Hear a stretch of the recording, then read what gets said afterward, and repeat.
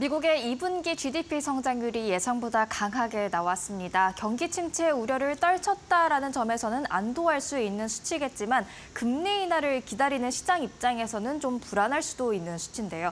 과연 미국 경제가 강하게 계속 달려도 괜찮을지 이 시간을 통해서 확인을 해보도록 하겠습니다. 강해도 괜찮나 라는 주제를 잡아봤습니다. 그렇다면 일단 2분기 GDP 성장률부터 같이 함께 확인을 해보시죠. 분기별 GDP 성장률 차트로 제시가 되어 있습니다. 2분기에 2.8% 성장률을 기록했습니다. 1분기 1.4%를 기록했었는데 그보다 강하게 나왔고요. 다만 2023년 4분기 3.4%보다는 약하게 나왔습니다. 다만 이 2.8이라는 숫자 예상했던 2.1% 성장보다도 강했다라는 점에서 시장이 한켠에서는 우려할 수 있을 것 같은데 있는데요. 과연 기준금리 인하할 수 있는 걸까요? 일단 경제가 강해도 괜찮다라는 생각을 해봅니다. 몇 가지 이유 확인을 해보겠습니다.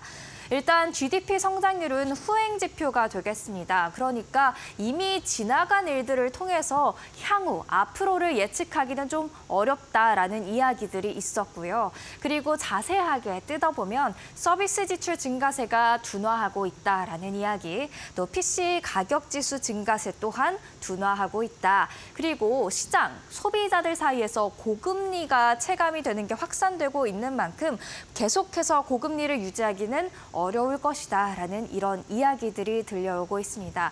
이런 이유들 때문에 지금 2분기 성장률이 강하게 나왔지만 기준금리 기대감이 인하 기대감이 크게 흔들리지 않는 것으로 해석됩니다. 그렇다면 이 이유를 제외하고 나머지 세 가지 이유에 대해서 자세하게 한번 살펴보겠습니다.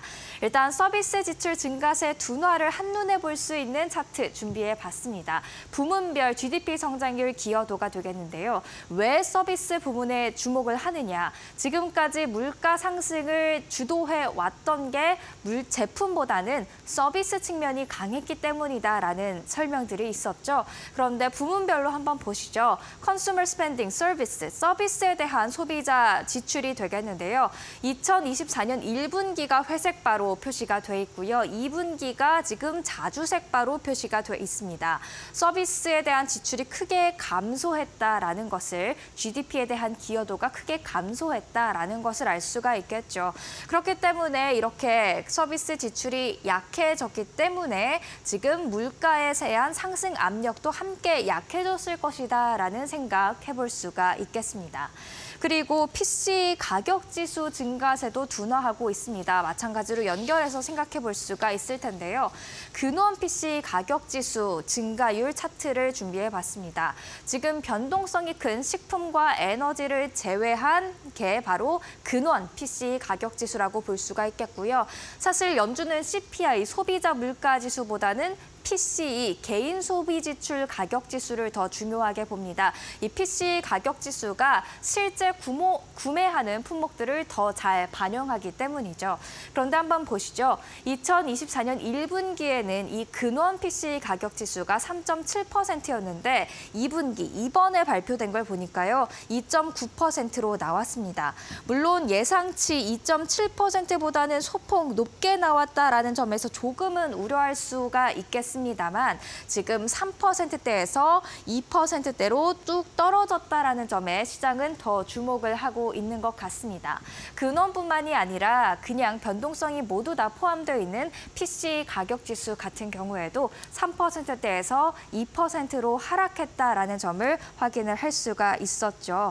그리고 사실 현지 시간 금요일에는 6월 PC 가격 지수가 공개될 예정인데요. 2분기 자체가 예상치보다 소폭 높게 나온 만큼 4월 또는 5월에 발표됐던 PC 가격 지수가 소폭 상향 조정되거나 아니면 6월 PC 가격 지수가 예상했던 것보다는 조금 높게 나올 수 있겠다라는 이야기들이 있습니다. 그러니 내일 우리 시간으로 내일 오늘 밤에 확인하게 될 6월 PC 가격 지수가 조금 높게 나오더라도 시장은 크게 반응하지 않을 것으로 보여집니다. 이미 예상을 하고 있었으니까요.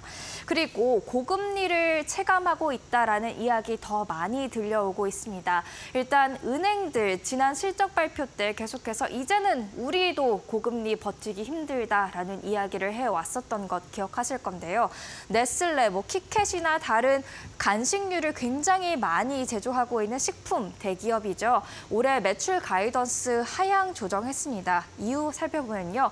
소비자들이 가격에 매우 민감해져서 가격 인상을 이제는 조금 그 속도를 더디게 해야 될 것 같다라는 이야기를 한 것이죠.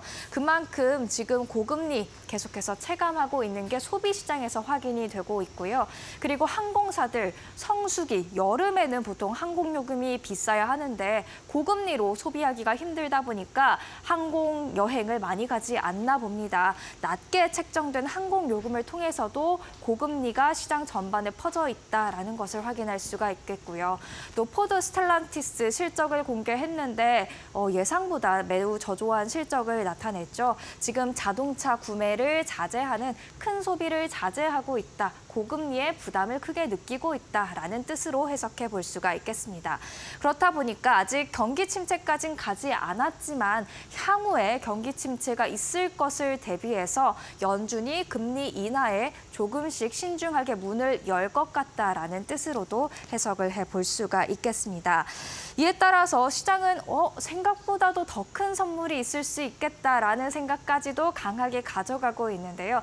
일단 9월 금리 인하는 100% 확실하게 보고 있습니다. 다만 이렇게 0.5%포인트 인하하는 빅스텝 기대감도 점차 커지고 있고요. 그리고 7월 기준금리 인하 기대감도 조금씩 키우고 있습니다. 다음 차트를 함께 보시면요.